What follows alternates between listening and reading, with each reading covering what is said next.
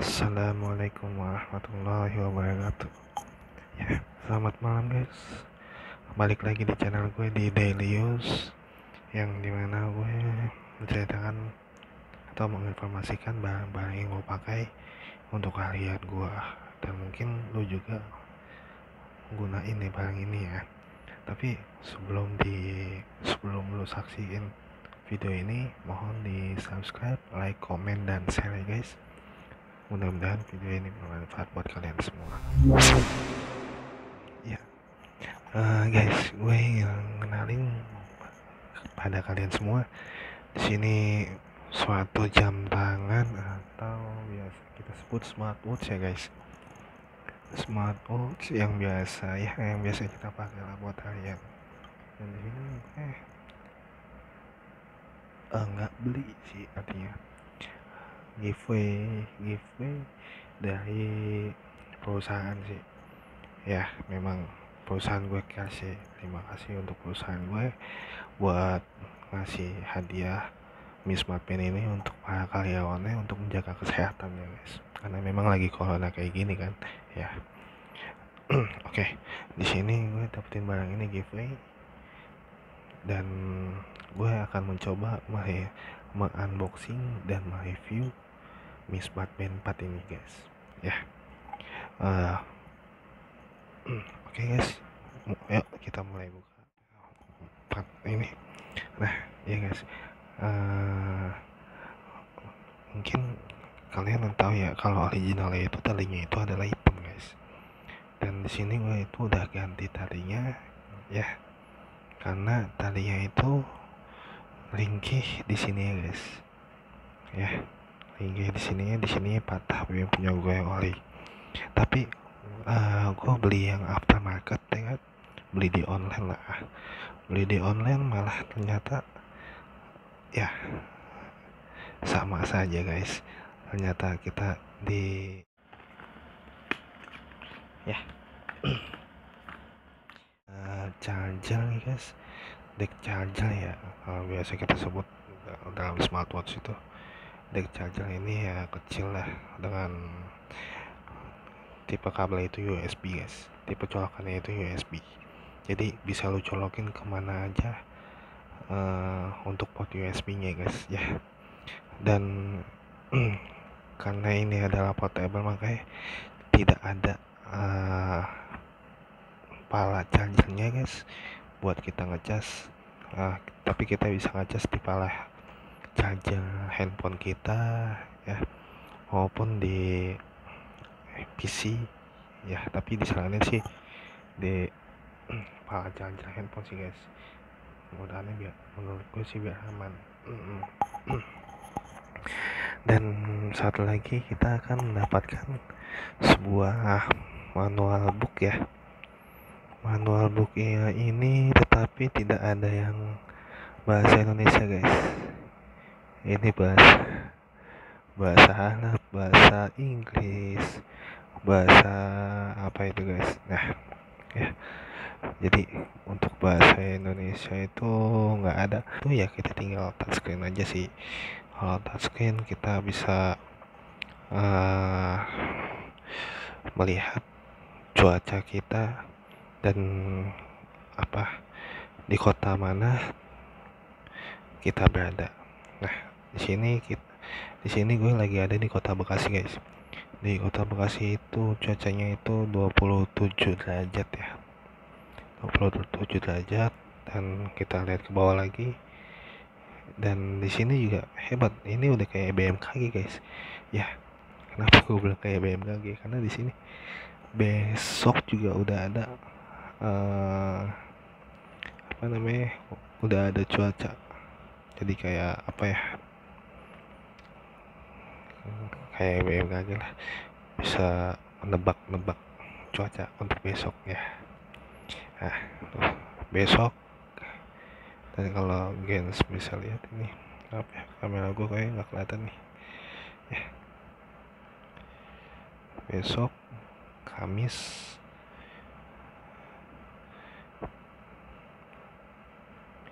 Besok Jumat. Sabtunya nol berarti kita bisa melihat ini uh, di sekitar 4 sampai 5 hari lah guys ya. Uh, dan ada menu apa aja selain cuaca? Oke kita lihat. Di sini ada notifikasi. Tidak ada notifikasi karena memang jam tangannya ini lagi gue nggak konekin sih ke handphone. Dan kalau misalkan gue konekin ke handphone itu biasanya ada di sini nongol. Karena gue notifin ke WhatsApp doang ya guys. Jadi biasanya di sini ada uh, muncul lah pesan-pesan WhatsApp tapi nggak terlalu semuanya sih guys. Paling hanya beberapa satu sampai enam WhatsApp lah yang bisa terlihat. Tapi uh, ngebuka handphone cuma ngeliat WhatsApp. Jadi bisa gue lihat dari sini aja ya kan? Ya guys. Untuk selanjutnya itu menu selanjutnya itu ada menu status ya guys. Statusnya itu ada langkah ya. Kenapa ada langkah? Karena di sini di Mi Smart di Mi Smart Band ini ada suatu sensor di belakang ya guys biasanya nyala sini. Ini tapi mati uh, ada suatu sensor nyala di sini di mana bila lu pakai di pergelangan tangan lu itu harus kenceng. Kenapa? Biar sensornya itu kebaca sama si Mi Smart ini ya. Supaya lu supaya Mi Smart Band ini ngebaca berapa langkah lu uh, melangkah setiap setiap hari lu melangkah dan ada jarak. Jarak itu artinya berapa jarak sih lu lu ini jalan gitu? Maksudnya gitu sih. Dan di sini ada menu kalorinya juga. Oke ada menu kalorinya juga. Dan ini biasanya ada peringatan diam. Peringatan diam tuh guys ya. Oke kita ke menu selanjutnya. Dan ini juga ada detak jantung guys ya ada detak jantung yang di mana ini detak jantung ya bisa buat uh, ngukur detak jantung lo di saat lo beraktivitas ya. Setelah detak jantung itu ada menu latihan ya. Ada menu latihan itu ada outdoor ya ada outdoor tapi kalau menurut latihan ini lo harus connect ke handphone sih. Kalau misalkan setelah lo latihan dengan lari lo bisa lihat recordnya itu di handphone lo sih. Ada jadi uh, handphone ini handphone Mi Pen ini memang connect harus connect ke handphone. Jadi biar tahu recordnya ya dan di sini waktunya sudah berjalan tuh guys. Oke. Ya di sini gue akan matikan. Gimana sih cara matikannya? Matikannya lo klik aja tahan sampai tombol pause ada bacaan di jeda. Nah lo klik yang tombol kotak itu yang pause secara pendek untuk dicatat. Yes. Nah di situ ada lari outdoor ada treadmill ada bersepeda ada bersepeda dan menurutku semua sama sih. Jadi ada waktu ada jarak ada irama ada detak jantung ada zona. Oke ya. Ada bersepeda ada jalan ada bebas ada berenang tapi kalau untuk di handphonenya itu banyak sih pilihannya. Jadi lu tinggal milih aja lu mau mau apa bisa milih yang lainnya selain yang ada di menu ini. Dan untuk selanjutnya itu adalah lainnya guys. Lain saya itu adalah ini jangan ganggu. Jangan ganggu itu ya ada pilihan ini guys. Hidupkan otomatis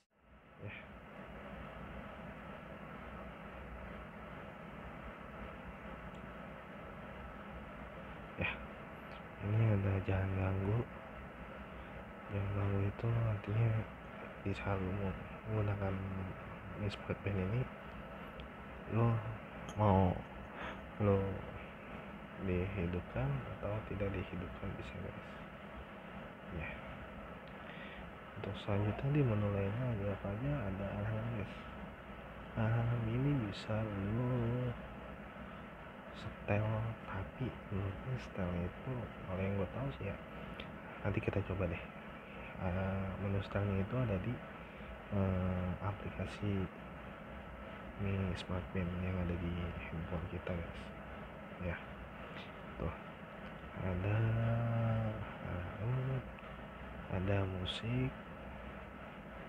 Ya ada musik ini tuh musiknya ini langsung connect ke handphone ya guys. Jadi kalau misalkan lu di jalan menggunakan headset oh menggunakan headset maupun menggunakan headset maupun TWS ya bisa lo konekin. TWS pun bisa lo konekin ke dalam Xiaomi ini guys. TWS apa pun ya. Dan selanjutnya itu adalah musik ya tadi musiknya akan tadi gue bilang lo bisa nyetel musik dari sini dan lo bisa auto volume ada di sini tuh. Tuh. Guys ya tuh. Lo bisa play. Ya di sini sini udah dengar. Oke bisa lo pindahin lagu ke kanan. Ke kanan. Ataupun ke kiri. Nah ya guys. Ya, oke kita balikin lagi. Selanjutnya selanjutnya itu adalah menu stopwatch.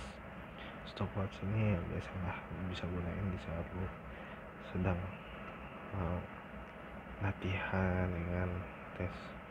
Latihan lu butuh berapa menit nih gue dari jalan A ke jalan B ya kan?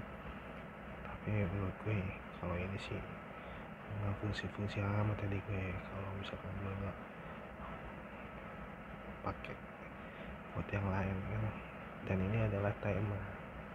Timer ini adalah fungsinya sama sih kayak uh, smartwatch itu. Oh, uh, mungkin ini target sih ya misalkan target lu pengen lari dari jarak A ke B itu misalkan 5 menit ya lu tinggal setel di sini 5 menit. Ini kalau di sini menurutku ini adalah detik kalau ini adalah menit. Kalau yang sebelah kanan adalah detik kalau yang sebelah kiri adalah menit. Ya beda di situ aja sih guys. Oke kita balik lagi. Dan ini menurutku yang hal terus dan ini adalah uh, menu cari perangkat ya guys. Di mana cara perangkat ini di saat lu uh, ingin mensinkronisasikan smartphone ini ke handphone lo guys. Ya. Itu tinggal lo klik aja nanti bakal connect. Dan ini ada mode diam ya ada mode diam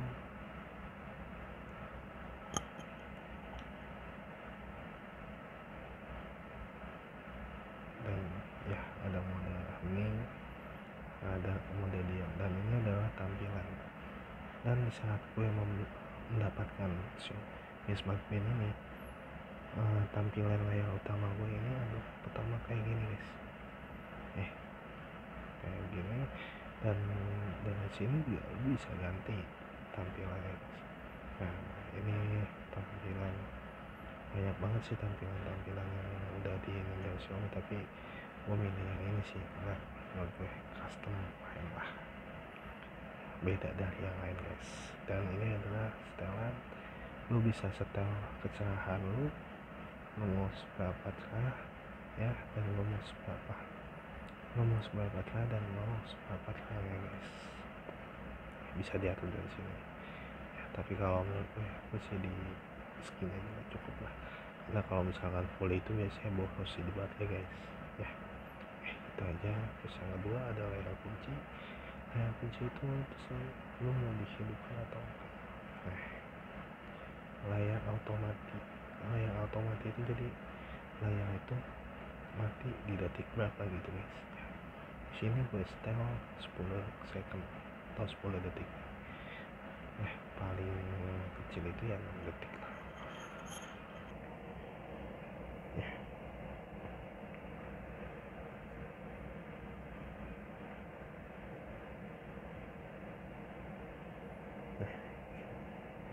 balik lagi. Tadi ada tampilan. Tadi kita setelan ya guys. Setelan itu ada apa aja? Dan di sini kita bisa lihat guys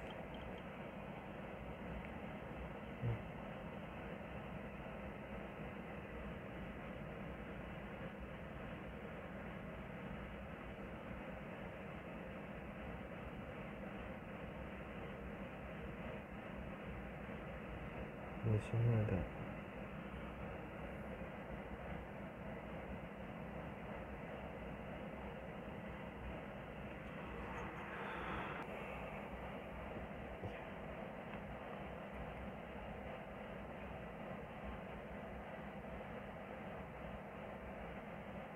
ini selalu wah besar nah oke okay.